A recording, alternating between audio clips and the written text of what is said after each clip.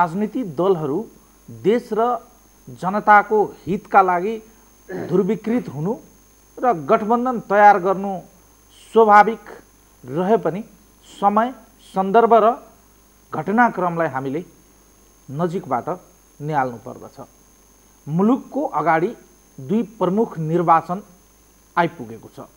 निर्वाचनको पूर्व सन्ध्यामा दलहरू चुनावी गठबन्धनको लागि जोडिने र छुट्टिने क्रम जारी रहँदा निर्वाचन होला वा नहोला एउटा आशंका आम जनतामा थोरै देखिएको छ। यता माओवादी सत्तापक्ष हो वा एमालेसँग प्रतिपक्ष हो यसै नैतिक रूपमा बुझ्न कठिन छ। कङ्ग्रेससँग सरकारमै बसेर माओवादीका मन्त्रीहरूले मन्त्रालय सञ्चालन गर्दै गर्दा र एमालेसँग वाम एकताको नाममा चुनावी रणनीति तयार गर्दै गर्दा माओवादीको दोहोरो चरित्रले माओवादी सत्तापक्ष हो वा विपक्षी भन्न कठिन देखिन्छ।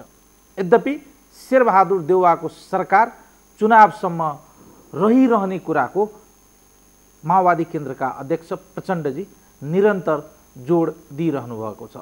आजै उहाँले एउटा कार्यक्रममा यदि शेरबहादुर देउवालाई आफ्नो पार्टीको मन्त्रीहरूले गर्दा अप्ठ्यारो भए फिर्ता बोलाउन तयार रहेको बताउनु भएको छ। तर के सरकारमै रहेर विपक्षी मोर्चासँग योजना बनाउँदै गर्दा शेरबहादुर देउवाजीले यसलाई सहर्ष स्वीकार गर्नुहोला वा यसको विकल्पमा अन्य कुराहरू पनि सोचिँदैछ। बजारमा हल्ला आएका विषयवस्तुहरूलाई आधार मान्ने हो भने प्रधानमन्त्री शेरबहादुर देउवाजीले माओवादीका मन्त्रीहरूलाई हटाउनेसम्मको हल्ला पनि चल्यो। तर वास्तविकताभन्दा पर हामीसँग नेपाल सरकारका एकजना चर्चित योजनाकार अथवा देउवा सरकारका एउटा योजनाकार पनि हुनुहुन्थ्यो। उहाँ वन विकास मन्त्री रामकृष्ण यादव नेपाली कृषि विकास मन्त्री रामकृष्ण यादव हामीसँग हुनुहुन्छ नेपाली कङ्ग्रेसको नेता पनि हुनुहुन्छ। रामकृष्णजी स्वागत गरे। धन्यवाद। खास गरिकन वाम एकतापछिको राजनीति जुन प्रकारले विकसित भयो देउवा सरकार कमजोर भएको महसुस गर्नुभएको छ तपाईँहरू? अहिले जुन किसिमको राजनीतिक ध्रुवीकरण भएको छ बहुदलीय व्यवस्थामा यस्तो ध्रुवीकरणहरू भइरहन्छ। तर जु तर आज जुन अवस्थामा जुन परिवेशमा र जुन परिस्थितिमा र जुन समयमा सत्ता पक्षको एउटा घटक र प्रतिपक्षको बिचमा आउने चुनावको सन्दर्भमा जुन गठबन्धन भएको छ त्यसलाई अस्वाभाविक रूपमा म मात्रै होइन आम जनताले लिएको छ। र यसलाई सकारात्मक रूपमा आम जनताले लिएको छैन।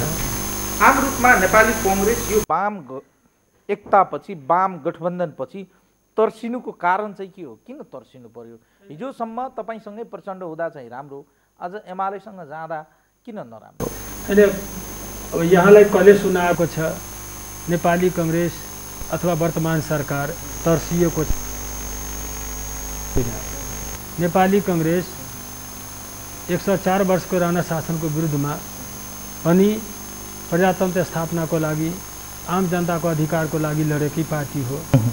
तिस वर्षसम्म पञ्चायत व्यवस्थाको विरुद्धमा आफ्ना हजारौँ कार्यकर्ताहरूको बलिदानी दिलाएकै पार्टी हो। र त्यो बेलामा पनि एक्लै थियो। र एक्लै मात्र होइन जो प्रजातन्त्रप्रति विश्वास राख्ने समूहहरू थियो व्यक्तिहरू थियो नागरिकहरू थिए।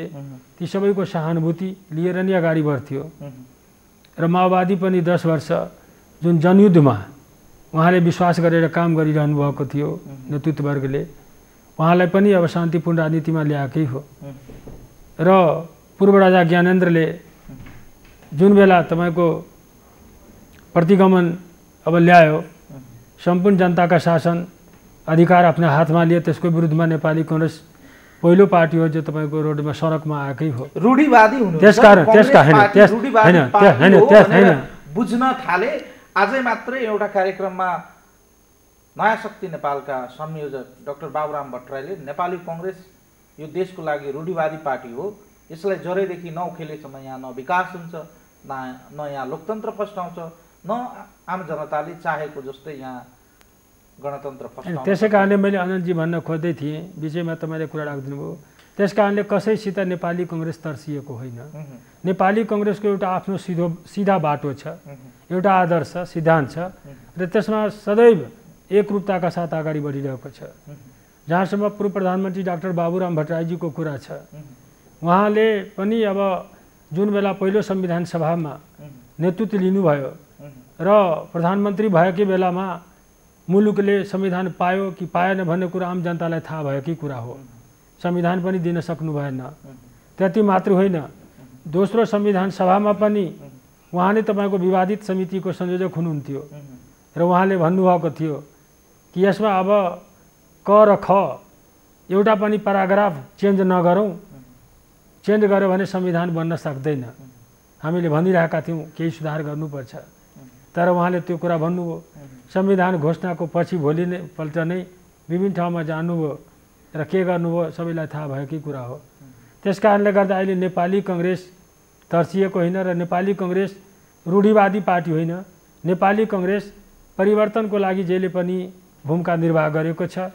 परिवर्तनवादी पार्टी हो समावेशी पार्टी हो जनताको पार्टी हो। तपाईँलाई तपाईँको सरकार भन्दा पनि पार्टीको कुराहरू गरिरहँदाखेरि अहिलेको वाम एकता हुनुमा यो तत्कालै भएको त होइन। वाम एकता हुनुको प्रमुख कारण नेपाली कङ्ग्रेस हो वा अहिलेको मौजुदा सरकारको नेतृत्व गरिरहनुभएका प्रधानमन्त्री शेरबहादुर देउवा हुनुहुन्छ।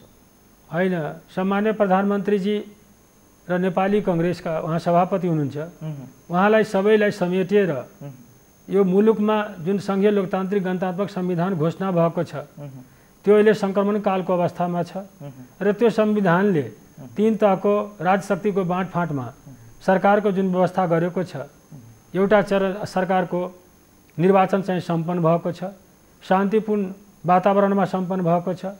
अब कुन पार्टी कहाँ जित्यो को जित्यो त्यो आफ्नो ठाउँमा छ। तर प्रतिनिधिविहीन मुलुक प्रतिनिधिविहीन अवस्थामा जुन स्थानीय निकाय थियो त्यो आज जनताको प्रतिनिधिहरू त्यहाँ चाहिँ बहाल भएको छ र त्यो निकाय अगाडि बढिरहेको छ।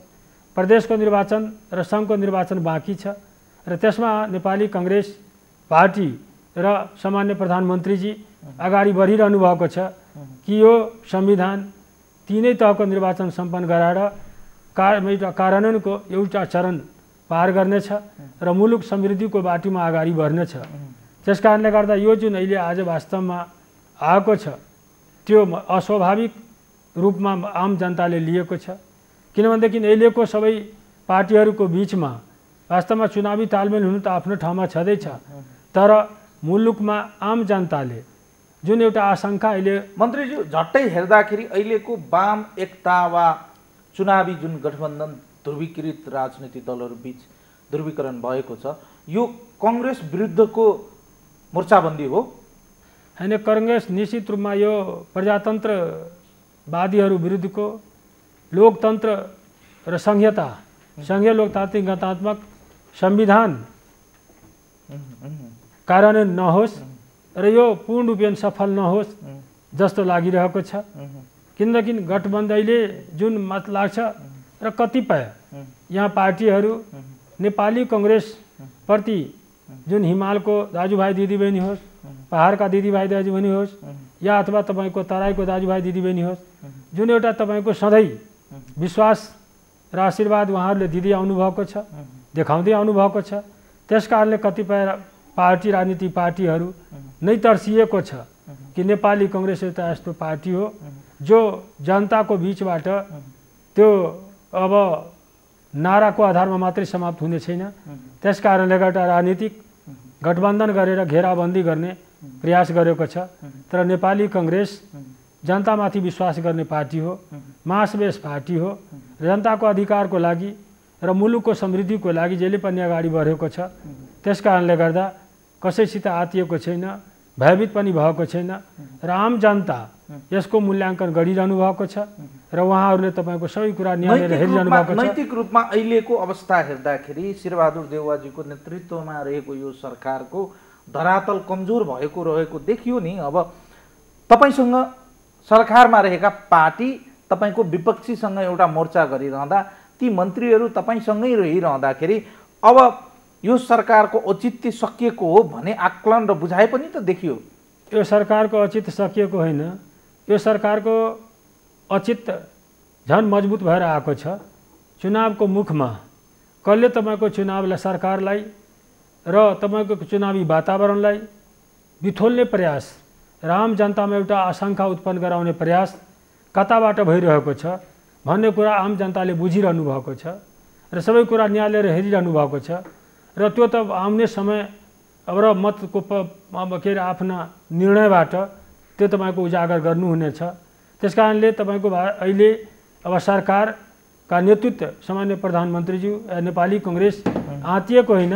बरु नेपाल सरकारको व्यवहार क्रियाकलाप र मजबुतीबाट र सरकारको जुन एउटा शान्तिपूर्ण वातावरणमा जुन अब विगतका निर्वाचन सम्पन्न गरा गराएको छ सरकारले र गराउने जुन किसिमको इच्छा शक्ति छ जुन किसिमको वातावरण सिर्जना सरकारको तर्फबाट भइरहेको छ बाढी आएको बेलामा पनि र अहिले विभिन्न शान्ति सुरक्षाको दृष्टिकोणले पनि त्यस कारणले अन्य कतिपय पार्टीहरू आतिएर अतालिएर र उदासीन मतलब उसले भित्रबाट उदासीन भएर यस किसिमको अब नेपाली कङ्ग्रेसलाई घेराबन्दी गरौँ भन्ने योजना तर घेराबन्दी त आफ्नो ठाउँमा छ। तर मेन कुरा घेराबन्दी भन्दा चुनावमा आफ्नो घोषणापत्र आफ्ना विचार लिएर जाने सबै पार्टीहरूको त छुट छँदैछ तर अहिले जुन किसिमको परिस्थिति सिर्जना भएको छ त्यो अस्वाभाविक हो। तपाईँहरूसँग सँगै रहेका मन्त्रीज्यूहरू विपक्षी मोर्चामा गएर सहमतिका बुदाहरू पढेर उच्चारण गर्नुहुन्छ। एक तरिकाले हेर्दा त सरकार ढल्या जस्तै देखियो नि होइन र? त्यो त अब अब मैले भन्ने होइन। किनभनेदेखि म अब नेपाल सरकारकै एउटा जिम्मेवारी सम्हालेको अब अब व्यक्ति हुँ र मन्त्री हुँ। र त्यस कारणले गर्दा बहुदलीय व्यवस्थामा र नेपालको राजनीतिमा त यही दुःखद कुरा यसलाई स्वाभाविक राजनीति। जस्तै यसलाई स्वाभाविक प्रक्रियाले यो स्वाभाविक राजनीतिक प्रक्रिया हो वा यो भइरहन्छ राजनीतिमा भनेर हामीले स्वाभाविक रूपमा लिनुपर्ने हो। होइन। तर हाम्रो राजनीति संस्कारको अलिकता अभाव नै छ। प्रजातन्त्र वास्तवमा अहिले पूर्ण रूपमा जार जब प्रजातन्त्रको ज्वरो लोकतन्त्रको ज्वरो बलियो भएको छैन। हामी सङ्क्रमणकालकै अवस्थामा छौँ। त्यसकारण अहिले पनि पञ्चायतको जुन संस्कार छ या विगतको जुन संस्कार छ त्यो पूर्ण रूपेण हामीलाई छोडेको छैन। हामी विगतमा पनि देखाएको छौँ तपाईँहरूलाई थाहै छ। सरकारमा बस्ने प्रतिपक्षमा मत हाल्ने। यो बेन्चमा बस्ने त्यो बेन्चको तपाईँको प्रस्तावमा तपाईँको समर्थन जनाउने। जुन छ त्यो तपाईँको मलाई लाग्छ प्रजातान्त्रिक संस्कार होइन। वाम- त्यस कारणले अहिले म के गर्नुपर्छ पार्टीहरू। वाम एकता गरिरहँदा तपाईँहरू पनि त अछुतो रहनु भएन। रातारात प्रजातान्त्रिक समूह गठन गर्नुभयो। रातारात प्रजातान्त्रिक मूल्य मान्यतामा रहेका दलहरूलाई चाहिँ समेटेर हतार हतारमा तपाईँहरू पनि त गठन गर्नुभयो। तपाईँहरू पनि एक किसिमको चाहिँ वाम एकताको विरुद्धमा चाहिँ मोर्चाबन्दी त गरेकै हो। हामीले होइन वाम एकता भन्दा कम्युनिस्टहरूको एकता।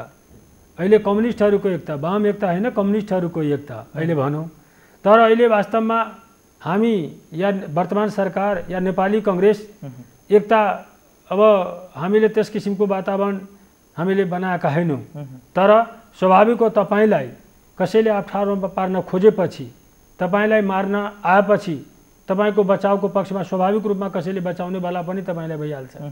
जुन किसिमको वातावरण सिर्जना भयो त्यसको तपाईँको साइड इफेक्ट अर्को पनि अब जुन छ प्रजातन्त्रमा विश्वास राख्नेहरू अब कतिपय सुन्दैछु पेपर पत्रिकामा दस वर्षपछि साम्यवादी शासन व्यवस्था लागू गर्ने रे।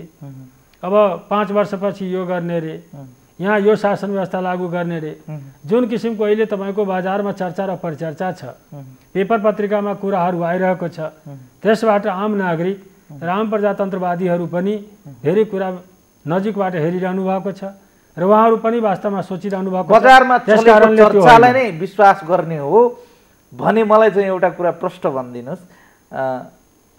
तपाईँ यो सरकारको एउटा प्रमुख मन्त्री पनि हुनुहुन्छ। तपाईँ यो सरकारको एक किसिमको चाहिँ एउटा धरातल बुझेको मान्छे र यसको यो सरकार बनाउँदादेखि नै एउटा सक्रिय रोल गरिरहँदाखेरि मलाई भनिदिनुहोस्। साँच्चीकै शेरबहादुर देवाजी माओवादी पार्टीबाट यो सरकारमा सहभागी भएका मन्त्रीहरूलाई हटाउने तयारी गर्नुभएको हो। यो गलत किसिमको प्रचार गरिएको छ। नेपाली कङ्ग्रेसको तर्फबाट भर्खर हिजो केन्द्रीय कार्य समितिको बैठक सम्पन्न भएको छ र त्योभन्दा अघि एक दिन अघि पहिला केन्द्रीय सम्पादन समितिको बैठक तपाईँको सम्पन्न भएको छ र कुनै पनि बैठकबाट त्यस किसिमको निर्णय भएको छैन र त्यो हटाउने उच्चारणसम्म पनि हाम्रो बिचमा भएको छैन र त्यो कुराहरू बाहिर मान्छेमा एउटा विश्लेषणको विषय बनेको छ कि अब सरकारमा भएर पनि सरकारलाई कसैले असहयोग किसिमको वातावरण गर्छ भने त्यो बजारकै मतलब आम बुद्धिजीवीको चर्चा हो। तर सरकार र सरकारका नेतृत्व सामान्य प्रधानमन्त्रीज्यूबाट र नेपाली कङ्ग्रेसको केन्द्रीय कार्य समितिको बैठकबाट त्यस्तो कुनै प्रकारको भएको छैन। जहिले पनि तपाईँको हामी सब बरु माओवादी केन्द्रबाट माओवादी केन्द्र र नेपाली कङ्ग्रेसको बिचमा जुन बेलामा पूर्व प्रधानमन्त्री माओवादी केन्द्रका अध्यक्षज्यूले प्रधानमन्त्री बन्नुभयो त्यो बेलामा पनि सहमति नेपाली कङ्ग्रेस र माओवादी केन्द्रको बिचमा भएकै थियो। त्यसपछि न तेस्रो पार्टी हुँदाहुँदै पनि उहाँलाई प्रधानमन्त्री पदमा हामी निर्वाचित गरायौँ। र पछि अहिले नेपाली कङ्ग्रेसका आदरणीय सभापति र सामान्य प्रधानमन्त्री शेरबहादुर देउपाजी प्रधानमन्त्री हुनुभन्दा अगाडि पनि माओवादी केन्द्र र नेपाली कङ्ग्रेसको बिचमा तिन बुधे सहमति भएको थियो। र त्यो तिन बुधे सहमति भनेको तिनटै तहको निर्वाचन एक चरण तपाईँको अब सुरुमा उहाँले गराउने र त्यसपछि तिनटै चरणको निर्वाचन प्रदेश सरकार सरकारको प्रदेश सङ्घ अब केन्द्र सरकारको निर्वाचन सङ्घीय प्रतिनिधि सभा सदस्यको निर्वाचन। अब अब नेपाली कङ्ग्रेसका सभापति र वर्तमान सामान्य प्रधानमन्त्री नेतृत्वको सरकारले गराउने भन्ने कुराको सहमति नै भएको हो। तर सो सहमतिकै बिचमा यस प्रकारको तपाईँको अब सुरु राजनीतिक कुराहरू सुरुवात हुनु यो अलि दुःखद भएको छ। कङ्ग्रेस बुझाइमा कङ्ग्रेसको बुझाइमा प्रचण्डजीले चाहिँ कङ्ग्रेसलाई धोका दिनुभएको हो अहिलेको अवस्थामा हेर्दाखेरि। अब धोका दिनु भएको छ कि छैन म त भन्दिनँ। तर अब यो विश्लेषणको कुरा हो। यहाँहरू बुझि पनि रहनु भएको छ। आम जनताले बुझिरहनु भएको छ। उहाँले गर्नु पर्थ्यो यो बेलामा कि गर्नु पर्थिएन त उहाँ स्वयं तपाईँको के भनेदेखि एउटा देशको दुईचोटि तिनचोटि प्रधानमन्त्री भइसकेको व्यक्ति हो। र उहाँ जुन किसिमको हाउसमा पनि कहिलेकाहीँ आफ्नो सम्बोधन गर्नुहुन्थ्यो म विश्वासको राजनीति गर्छु। जोसित सम्झौता गर्छु। उल्लङ्घन गर्दिनँ। तर आज जुन किसिमको एक्सन यो चुनावको बेलामा उहाँले देखाइरहनु भएको छ त्यसबाट उल्लङ्घन गरेको जस्तो भान भइरहेको छ र उहाँको अझ पनि बाँकी छ त्यो भोलिको दिनमा पनि देखाउँदै जान्छ बिचमा। सोध्नै पर्ने एउटा प्रश्न के हो भने नि मन्त्रीज्यू चुनाव हाम्रो मुखमै आइपुगेको छ। चुनावलाई टार्ने वा चुनावलाई कुनै पनि बहानामा चाहिँ नजरअन्दाज गर्न सक्ने अवस्था छैन मुलुकको सामु। त्यसो हो भने चुनाव नहोस् भने परिकल्पनाका साथ यति बेलाको यो राजनीतिक ध्रुवीकरण हो। होइन म त अब त्यसरी त डाइरेक्टै अब नेपाल सरकारको एउटा मन्त्रीको हैसियतले र नेपाली कङ्ग्रेसको केन्द्रीय सदस्यको पनि हैसियतले म त्यो कुरा त भन्दिनँ। तर आज वास्तवमा चुनाव अब दुई चरणमा हुने भन्ने कुरा निश्चित भइसकेको छ। दस गते र एक्काइस गते आम जनता तपाईँको चुनावको वातावरणमा लागिरह सकिसक्नु भएको छ। र अहिले वास्तवमा जुन किसिमको अब सुरुवात भएको छ कतिपय तपाईँलाई थाहा छ जुन बेलामा संविधान बनिरहेको थियो त्यो बेलामा पनि नेपालका केही दाजुभाइ दिदीबहिनीहरू संविधान सबैको सर्वस्वीकार होस् र केही मागहरू उठाइरहनु भएको थियो। र त्यो वास्तवमा पुरा होस् र यो चुनाव र केही राजनीतिक पार्टीहरू तपाईँलाई थाहा छ पहिलो स्थानीय तहको निर्वाचनमा भाग पनि लिनु भएन।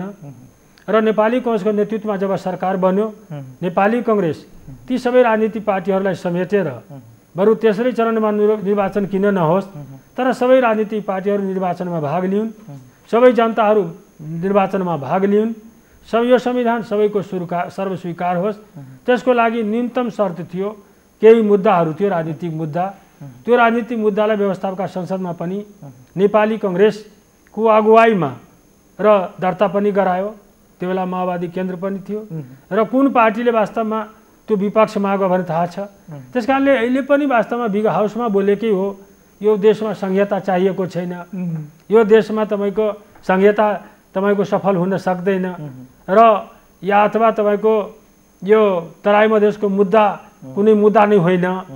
कहिले आँप भनिदिने कहिले के भनिदिने अथवा हिमालकै पहाडकै अब समस्याहरू समाधानको लागि त त्यो गम्भीरता नदेखाउने। त्यसबाट के पुष्टि हुन्छ भने वास्तवमा समस्या आज आएको होइन केही पहिलेदेखि नै तपाईँको यस किसिमको तपाईँको प्लानहरू बन्दै आएको थियो र आज सबैको बिचमा भ्रष्ट भएको छ। त्यस कारणमा चुनाव अब म त भन्दिनँ कुनै व्यक्तिको नाउँ लिन चाहन्न।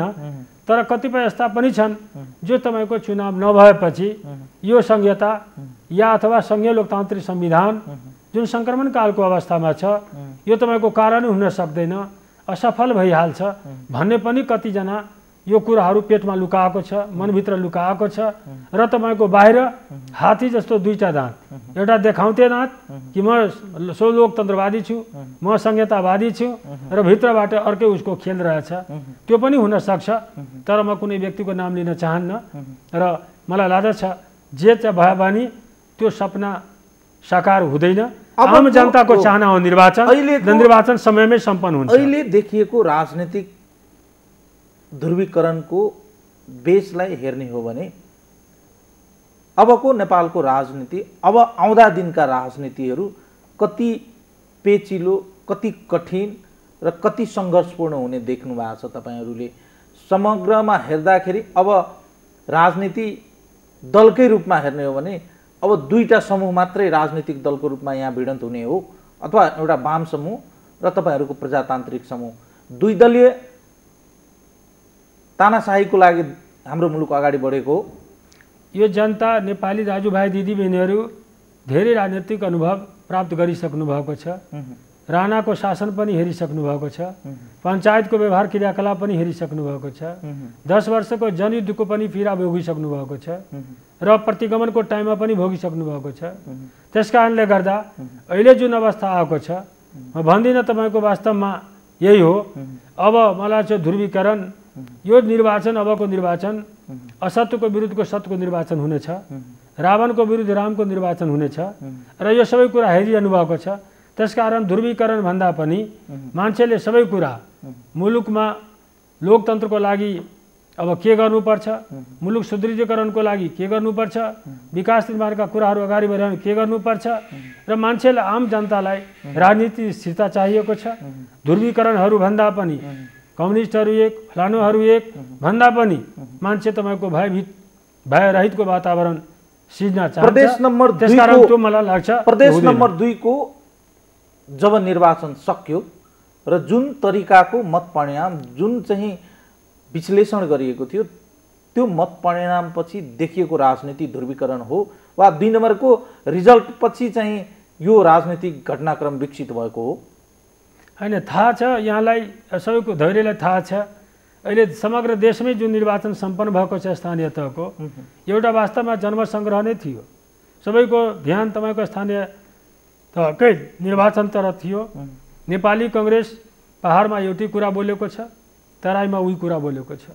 जुन कुरा पहाड तराईमा बोलेको छ त्यही कुरा पहाडमा पनि बोलेको छ। त्यही किन हिँड हिमालमा पनि बोलेको छ। किनभनेदेखि असली राष्ट्रवादी पार्टी असली राष्ट्रवादी नेता त्यो हो जो सम्पूर्ण जनता हिमालको पहाडको तराईको दाजुभाइ दिदीबहिनीहरूलाई एउटै बाटोबाट जसले हिराउँछ। त्यही नै तपाईँको असली राष्ट्रवादी पार्टी असली राष्ट्रवादी नेता हुनेछ। तर पहाडमा एउटा कुरा गर्ने मधेसमा गएर एउटा कुरा गर्ने हिमालमा गएर अर्को कुरा गर्ने त्यो राष्ट्रवादी नेता कहिले पनि हुन सक्दैन। मुलुकको हितको नेता कहिले पनि हुन सक्दैन।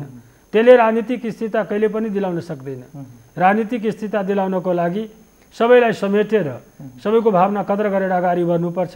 त्यस कारण स्थानीय तहको निर्वाचनमा जुन थोरै कमले सबै ठाउँमा तपाईँले विगतको संविधान सभाको निर्वाचनको परिणाम हेर्नुहोस् मतको सङ्ख्या हेर्नुहोस्। अहिले पनि नेपाली कङ्ग्रेस चुनावमा जहाँ पनि भएको छ बहुत सम बहुत कम ठाउँमा एक दुई ठाउँमा होला एक ठाउँ दुई ठाउँ बाहेक एक्लै चुनावमा उठेको छ। सबै ठाउँमा तर झिनो झिनो मतले पराजित भएको छ। तर पनि थोरैको कारणले गर्दा अहिले त्यही हेर्नु हो भने सेकेन्ड पार्टीको रूपमा भएको छ। कतिपय पार्टीहरू यता पनि सम्झौता उता पनि सम्झौता उता पनि सम्झौता।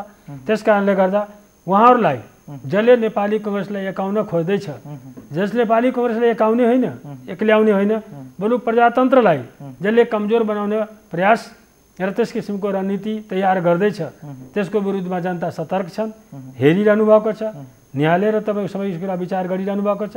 त्यस कारण मलाई लाग्छ त्यो कुरालाई त्यो कुराबाट अतालिएर कि नेपाली कङ्ग्रेस र प्रजातन्त्रवादीहरूलाई यदि तपाईँको घेराबन्दीमा पारिएन भने मलाई के छ भनेदेखि भोलिको अब प्रजा जित प्रजातन्त्रवादीहरूकै जित हुनेछ। सत्यमाथि नै तपाईँको के छ भनेदेखि आधारितको जित हुनेछ। त्यस कारणले मलाई लाग्छ केही गलत अस्वाभाविक किसिमको गठबन्धनहरू अस्वाभाविक क्रियाकलापहरू अहिले मुलुकमा राजनीतिक क्रिया देखा पर्दैछ जस्तो। समग्रमा हेर्दाखेरि आम रूपमा अविश्वासको वातावरण बनेको देखियो अलिअलि। चुनाव हुन्छ कि हुँदैन?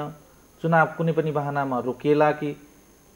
वा सरकारले कुनै अप्रिय कदम चाल्ला कि? वा सरकारको आन्तरिक केही गर्ने तयारी पो हुँदैछ कि भन्ने आशंका पनि देखियो। त्यस्तो केही गर्ने तयारी भएको छ मन्त्रीजी? होइन त्यस किसिमको अब वातावरण कसैले बनाउन मलाई त के छ भनेदेखि सरकारको तर्फबाट होइन। तर त्यस अहिलेसम्म सरकार को थोरै धेरै भएको पनि छैन। तर एउटा पनि कुनै त्यस्तो अप्रिय घटना अहिलेसम्म भएको छैन। सहजतापूर्वक सरकार अगाडि बढिरहेको छ। र यो सरकार पूर्ण रूपेण सबै तहका निर्वाचनहरू सम्पन्न शान्तिपूर्ण वातावरण होस् त्यसमा लागिरहेको छ। र सबै कुनै भेदभाव रहितको बिना लागिरहेको छ। त्यस कारणले त्यस सरकारको जुन काम गर्ने तौर तरिका छ सरकारको जुन प्रतिष्ठा जनताको बिचमा गएको छ जुन काम गर्ने तौर तरिका जनताको बिचमा गएछ त्यसबाट अतालिएर मलाई चाहिँ यस किसिमको अब कुराहरू बाहिर तपाईँको अब अस्वाभाविक मतलब गठबन्धनहरू बनिरहेको छ। र त्यो जुन अब चुनाव हुन्छ कि हुँदैन भन्ने पनि केही चौकचौरामा हल्ला फिजाउन प्रयास गरिरहेको होला। तर त्यो सबै मिथ्या प्रमाणित हुनेछ किनभनेदेखि नुरा अब आम जनता गाउँ सबैबाट हिमाल पहाड तराई सबैका दाजुभाइ दिदीबहिनीहरू चुनावमा लागिरहनु भएको चुनावमा के अरे पूर्ण रूपेण सक्रिय रूपले लागिसक्नु भएको छ। त्यसकारण कुनै पनि बहानामा अब यो चुनाव दस गते र एक्काइस गते रोकिने छैन। दुईटै प्रदेश र प्रतिनिधि सभाको निर्वाचन सम्पन्न हुनेछ र यो सरकार सफलतापूर्वक निर्वाचनहरू सम्पन्न गराउनेछ भन्ने भने सम्पूर्ण दाजुभाइ दिदीबहिनीहरूलाई यहाँको टिभीको माध्यमबाट म विश्वास पनि दिलाउन अन्तिम प्रश्न गर्न मन लाग्यो मन्त्रीजी। समग्र राजनीति स्थिति सही ट्र्याकबाट अगाडि नबढिरहेको अवस्थामा देशले चुनावको लागि आम जनताको मनसाय अगाडि बढिरहँदा र समग्रमा सबैलाई चाहिँ यो देशमा अब तत्कालै चुनाव भएर संविधान कार्यान्वयनको प्रक्रियालाई चाहिँ अझै द्रुत गतिमा अगाडि बढाइ कल्पना गरिरहँदा यस्ता किसिमका क्रियाकलापहरू मुलुकमा भइरहँदा यो आन्तरिक राजनीतिको प्रतिफल हो वा यो कतैबाट बाह्य प्रभावमा बाह्य चलखेलमा आधारित यो अहिलेको ध्रुवीकरण हो? अनि यहाँले जुन कुरा भनिरहनु भएको छ त्यो पनि अब आशङ्काभित्र नै छ चर्चा प्रचर्चा चलिरहेको छ। यो मेरो व्यक्तिगत विच विचार होइन। तर म पनि एउटा नेपालको नागरिक भएको नाताले पहिला नागरिक त्यसपछि मन्त्री सुन्दैछु। तर मलाई लाग्छ आजको युग एक्काइसौँ शताब्दीको युग हो। र पहिलेभन्दा धेरै नेपाली दाजुभाइ दिदीबहिनीहरू कन्सर्ट पनि भइसक्नु भएको छ। एक सय एक विद्वानहरू हुनुहुन्छ। राजनीति विश्लेषणकर्ता पनिहरू हुनुहुन्छ। तर राजनेताहरू पनि हुनुहुन्छ। त्यस कारणले बाहिरभन्दा पनि हाम्रो मुलुकको राजनीतिक अस्थिरता जुन छ त्यो कसरी तपाईँको समाप्त हुन्छ? राजनीतिक स्थिरता कसरी कायम हुन्छ? यत्रो तपाईँको लामो बलिदानी लामो सङ्घर्षपछि र लामो तपाईँको यो समयपछि जुन यो संविधान हामीले प्राप्त गरेका छौँ यो संविधान कसरी तपाईँको कार्यान्वयनमा जान्छ कसरी अगाडि बढ्छ र भयरहित वा- भयरहित वातावरणमा अब आम नागरिक कसरी तपाईँको निर्वाचनमा भाग लिन्छन् र कुनै प्रकारको भोलिको राजनीति नेपालको तपाईँको धमिलो हुन्छ कि भोलिको राजनीति अन्यल हुन्छ कि भन्ने किसिमको कुनै पनि राजनीति दलबाट त्यस किसिमको वातावरणको सृजना गर्नु मलाई लाग्छ अहिलेको बेलामा उचित होइन राम्रो होइन। प्रधानमन्त्री त्यसकारण त्यो स्वयंले सोच्नुपर्ने हो कि यो वास्तवमा भैरिया हो कि के हो अरूलाई दोष लगाउनु भन्दा पनि हुनसक्छ। एउटा आशंका एउटा आशंका। आम नेपाली जनता बिचमा रहेको एउटा आशंकालाई दूर गरौँ न मन्त्रीज्यू। तपाईँ यो सरकारको एउटा प्रमुख मन्त्री भइरहनु हुँदा शेरबहादुर देवाजीको विगत हेर्दाखेरि कति बेला के निर्णय गर्नुहुन्छ र के कदम चाल्नुहुन्छ भन्ने कुरामा धेरैजनाले चाहिँ निकै चाहिँ उहाँलाई आशंका गरिरहँदा हामीलाई आश्वस्त पारिदिनुहोस्। आम जनता जुन हाम्रो टेलिभिजन हेर्दै हुनुहुन्छ उहाँलाई आश्वस्त पार्दै पारिदिनुहोस्। शेरबहादुर देउवाजी कुनै यस्तो अप्रिय कदम चाल्नुहुन्न तोकिएकै समयमा निर्वाचन गराउनुहुन्छ? र साँच्चीकै उहाँमाथि जुन आशंकाहरू गरिएको छ ती आशंकाहरू सबै झुठोमा परिणत हुनेछ। हामीलाई आश्वस्त पारिदिनुहोस् न। उहाँले नेपाली कङ्ग्रेस सभापति हुनुहुन्छ र देशको र यो जुन कुरा कसैले बोल भनिरहेको छ त्यो राजनीतिक चरित्र हत्या गर्ने मात्रै यो कुरा हो। किनदेखि अब तपाईँको अहिले पनि जति पनि नेपालका पार्टीहरू छन् त्यसमा सबैभन्दा लामो इतिहास बोकेको प्रजातन्त्रको लागि विद्यार्थी कालदेखि नै इतिहास बोकेको र जेल जेल गएको दुःख पाएको व्यक्तिमध्ये उहाँ हुनुहुन्छ। र त्यसै गरी नेपाली कङ्ग्रेसका अर्को वरिष्ठ नेता आदरणीय श्री रामचन्द्र पौडेल जुन हुनुहुन्छ उहाँले पनि चौध वर्षसम्म निर्वाचनमा जेल जीवन बिताउनु भएको छ। उहाँको त्यत्रै लामो त्याग र तपस्या छ। त्यसकारण हाम्रो पार्टीमा अन्य पार्टीभन्दा लामो प्रजातन्त्रको लागि त्याग बलिदान र तपस्या गरेको हो मतलब नेताहरू हुनुहुन्छ दुवैजना। अन्य धेरै थुप्रै छन् हजारौँ छन्। मैले भन्दै उहाँ दुईजना त हाम्रो नेता छन्। त्यस कारणले गर्दा उहाँको बारेमा जुन किसिमको विश्लेषण गर्दैछ त्यो एउटा नेपाली कङ्ग्रेस पार्टीलाई त्यो जनताको बिचमा जुन लोकप्रियता छ त्यसलाई समाप्त गर्नको लागि कि नेपाली कङ्ग्रेसकै सभापतिको बारेमा यस किसिमको कुरा उठाइदियो भने उसको पार्टी कमजोर हुन्छ। उसको तपाईँको जनताको बिचमा नराम्रो प्रभाव पर्छ। भन्ने उद्देश्यले कुनै व्यक्ति र कुनै समूहले यस किसिमको हल्ला फिजाइरहेको होला। तर त्यो होइन। विगतमा मैले यहाँलाई अगाडि पनि यहाँलाई आग्रह गरेँ। स्थानीय तहको निर्वाचनमा एकजनाको पनि यताउति नभएर सम्पन्न भएको छ। कुनै पानी राजनीतिक पार्टीले जबरजस्ती तपाईँको बुथ कब्जा गरेको पनि कुरा बाहिर आएको छैन। त्यसकारण उहाँ त एकखेरो नेपाली कङ्ग्रेस र अहिले वर्तमान सरकार एकहोरो एक दृष्टि गिद्मत दृष्टि छ एउटै दृष्टि चुनाव सम्पन्न होस्। हाम्रो पार्टी कति ठुलो हुन्छ कति सानो हुन्छ बहुमतमा कति आउँछ कति सङ्ख्यामा आउँछ आफ्नो ठाउँमा छ। तर मेन कुरा निर्वाचन सम्पन्न होस् भन्ने। तपाईँलाई थाहा छ हामी त्यही पार्टीका व्यक्ति हौँ। स्वर्गीय जननायक स्वर्गीय गिरिजाप्रसाद कोइराला दोस्रो पहिलो संविधान सभामा प्रधानमन्त्री हुनुहुन्थ्यो। हामी चुनावमा भाग लियौँ। हाम्रो पार्टी थोरै सिट बत्तिस तैँतिस पैँतिस सिटमा मात्रै निर्वाचित भयो। तर हाम्रा प्रधानमन्त्रीजी त्यो बेलाका सभा हाम्रो सभापति तत्कालीन सभापतिजी जुन मेरो पार्टी हारे पनि प्रजातन्त्र नहारोस् भन्ने उहाँको जुन चाहना थियो त्यो पुरा गर्नुभयो। आज त्यही पार्टीको हामी पनि छौँ र त्यही पार्टीको हाम्रो सभापति र तपाईँको प्रधानमन्त्रीजी पनि हुन्छ हामी मुलुक आफ्नो पार्टी पनि छ तर मुलुकको लागि प्रजातन्त्रको लागि हामी अगाडि बढिरहेका छौँ। र प्रजातन्त्रमा सबभन्दा तपाईँको महत्त्वपूर्ण पक्ष भनेको निर्वाचन हो। र निर्वाचन शान्तिपूर्ण वातावरणमा सम्पन्न होस्। सरकारको एउटै उद्देश्य छ एउटै चाहना छ र त्यो चाहनाभित्र नेपाली कम्युनिस्ट पार्टी पनि जनताको बिचमा काम गरेको पार्टी हो जनताको हितमा काम गरेको पार्टी हो सदैव जनताको लागिको छ र हामी जनतामा विश्वास गर्दै आएका छौँ। र हरेक अग्नि परीक्षामा तपाईँको जाँच दिएको छ नेपाली कङ्ग्रेस। र यसपालिको अग्नि परीक्षामा पनि हाम्रो अगाडि जुन चुनौती आएको छ सरकारको अगाडि नेपाली कङ्ग्रेसको अगाडि त्यो चुनौतीलाई आम हामीले होइन आम जनताले त्यो चुनौतीलाई स्वीकार गर्नुहुनेछ भन्ने मलाई विश्वास छ। हस् त धन्यवाद मन्त्रीज्यू। समय दिनुभयो। आजको यो छुट्टीको दिन पनि तपाईँका विचारहरू आम जनतालाई लागेका कन्फ्युजनहरू जुन तपाईँले क्लियर गर्नुभयो यहाँलाई धन्यवाद दिएँ। समयको लागि आभार प्रकट यहाँले पनि अब आफ्ना टेलिभिजनमा दुई शब्द राख्ने जुन अवसर दिनुभएको छ त्यसका लागि यहाँप्रति पनि अनन्तजीप्रति पनि आभार व्यक्त गर्न चाहन्छु। टिभीका सम्पूर्ण परिवारप्रति पनि आभार व्यक्त गर्न चाहन्छु धन्यवाद दिन चाहन्छु। र सुनिरहनुभएका सम्पूर्ण दाजुभाइ दिदीबहिनीहरूलाई आदरणीय अग्रजहरूप्रति पनि म आभार गर्दछु र उहाँलाई नमस्कार गर्न चाहन्छु। धन्यवाद। दर्शकहरू उहाँ हुनुहुन्थ्यो कृषि विकास मन्त्री रामकृष्ण यादवजी। उहाँले दुई तिनवटा कुरा प्रष्टसँग भन्नुभएको छ।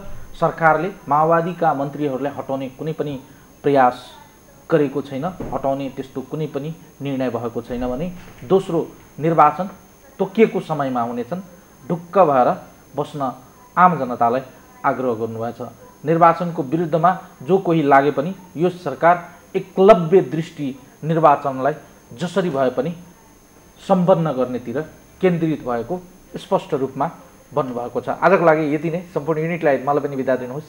नमस्कार।